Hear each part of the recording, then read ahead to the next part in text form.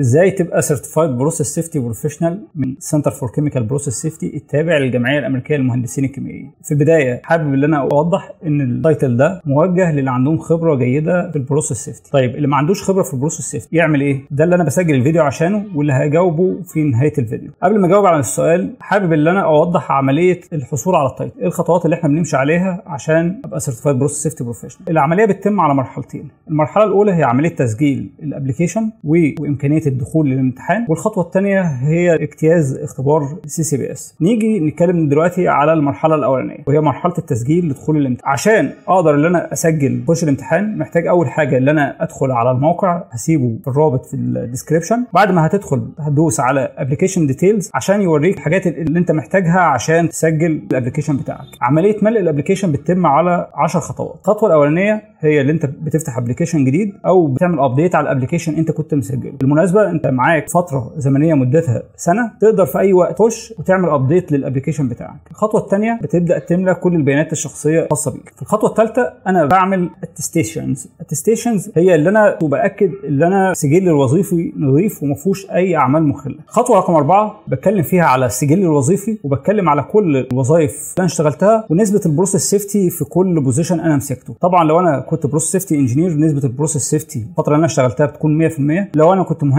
في أي تخصص تاني بحط النسبة اللي أنا بقدرها اشتغلت فيها أو احتكيت بالعناصر اللي هي خاصة بال process safety أما الخطوة الخامسة فبيطلب مني كل الشهادات المعتمدة اللي ليها علاقة بال process safety الخطوة ديت ما هيش إلزامية ولكن وجودها بيدي credit كويس لل application بتاعك نيجي بقى للخطوة رقم 6 الخطوة رقم 6 بتبقى مركزة على المؤهل الدراسي. ولو أنت كنت خريج كلية علوم أو كلية هندسة فبيبقى طالب منك خمس سنين خبرة. لكن لو أنت كنت خريج أي كلية أخرى فبيطلب منك خبرة 10 سنين. نيجي للخطوة الاهم وهي الخطوة رقم 7 في الخطوة رقم 7 بيطلب منك اللي أنت تثبت قدرتك على معرفة ال managerial وال technical skills الخاصة بال process safety عشان كده الخطوة ديت بيعرض لك ال 20 element الخاصين بال risk based process safety انك اللي أنت تكتب كل خبرتك وكل مشاركاتك في كل element طبعا مش متوقع إن أنت تبقى ملم بال 20 element ولكن كل ما كانت خبرتك أكبر واحتكاكك أكتر بال elements بتاعت ال process safety فده هيديك credit أعلى إن أنت تعدي المرحلة ديت.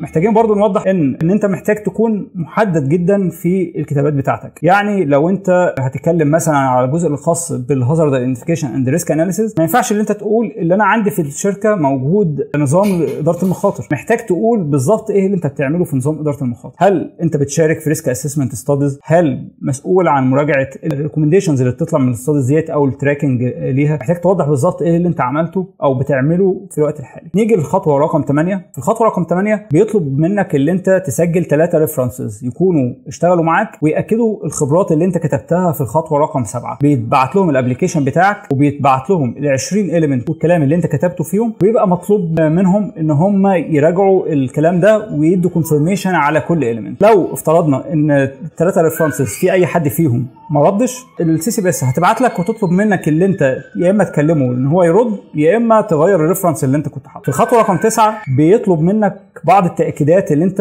المفترض اللي أنت هتعملها ويتأكد اللي أنت عندك المعرفة بالنقط ديت. نقط مهمة جدا بالنسبة لل CCPS التأكيدات ديت بتبقى زي اللي أنت هتمتحن الامتحان بنفسك اللي أنت مش هتسجل الامتحان أو اللي أنت هتسرب الامتحان ده لأي حد تاني. إن أنت عارف كويس الامتحان تكلفته قد إيه وال application الفلوس اللي انت هتدفعها هتبقى غير قابلة للاسترداد. تبقى عارف كويس اللي انت في حالة اللي انت نجحت وخدت ال title هيبقى مطلوب منك اللي انت تعمل تجديد بشكل سنوي والتجديد ده هتدفع فلوسه وهتحقق ال requirements بتاعته. نيجي للخطوة الأخيرة اللي هي الخطوة العاشرة. الخطوة ديت هي خطوة دفع الرسوم وتسجيل ال application خلصت ودفعت وسجلت ال application بتاعي. ال CCPS بتبعت لك email direct تتاكد عليك اللي أنت خلاص كده بقيت متسجل واللي هم هيبدأوا يراجعوا ويراسلوا ال references بيبعتوا في خلال يومين ثلاثة لكل ال references وبيطلبوا منهم اللي هم يردوا عليهم. بعد ال references بترد بتبدأ ال CCPS تراجع ال application بتاعك وفي خلال أسبوعين بيردوا عليك سواء بالقبول أو بالرفض. نرجع بقى للسؤال الأولاني اللي سألناه في البداية. لو أنا ما عنديش خبرة بال process safety إيه اللي أنا المفروض أعمله؟ الإجابة بمنتهى البساطة هي إنك تبني خبرتك تبني خبرتك إزاي؟ لو أنت شغال مطلوب منك إن أنت تشارك في كل ما له علاقة بال process safety احضر risk assessment studies شارك في incident investigations شارك في أي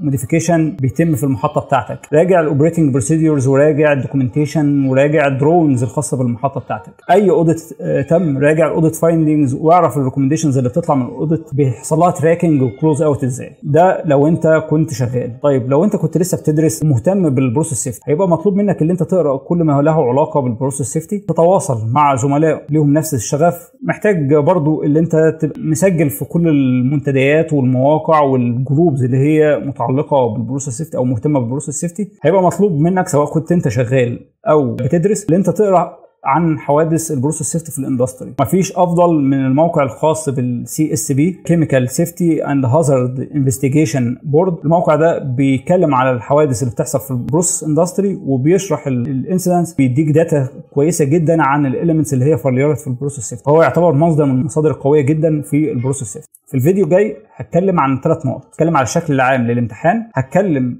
عن إيه المراجع الأساسية اللي انت محتاج تكون قاريها كويس قبل ما تدخل الامتحان؟ وآخر نقطة هتكلم على طريقة التجديد السنوية لل title الخاص بال process safety استنوني.